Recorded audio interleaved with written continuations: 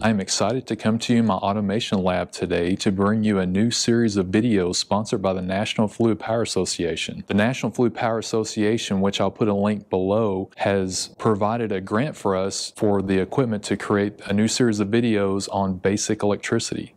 Now, the way that these videos will be set up is that we will be using a budget-friendly electrical kit so that anybody can use this, and I will put the links below for all the material for this. These are not affiliate links. These are just links to help you if you want to learn more about basic circuits.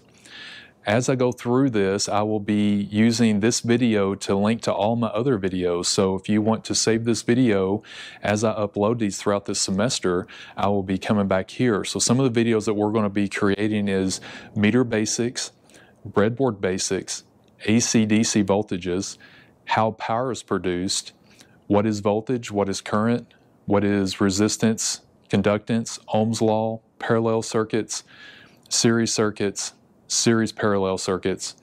They will all be linked below so that you can go through as I create these videos to come back and, and look at that. Now, if you have more expensive lab equipment, that's fine. What these videos are going to be used for is for references, whether you're doing this as a hobby or you're doing this for a high school class, a community college class, a university class, whatever it may be, you can utilize the materials that you have or that you can purchase cheaply to go along with these labs as we go through that you can actually go along with us as we go through the, the videos. So I hope these videos are helpful to you. The reason that the National Fluid Power Association is helping us to create these videos is because a lot of times nowadays fluid power systems do not operate without electricity. The goal of these videos is to create a reference point for you all to come back and learn more about basic circuits.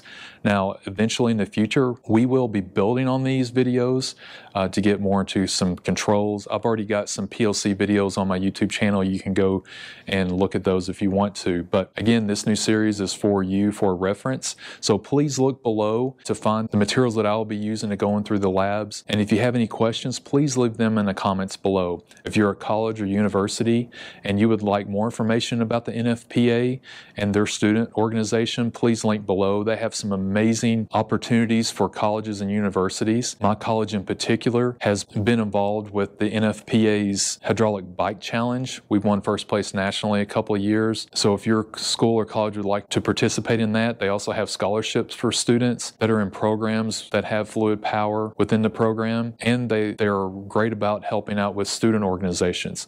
So again, please click on the link below, and thank you again, National Fluid Power Association, for sponsoring these videos. And I hope these videos will help you, and I look forward to hearing from you in the future.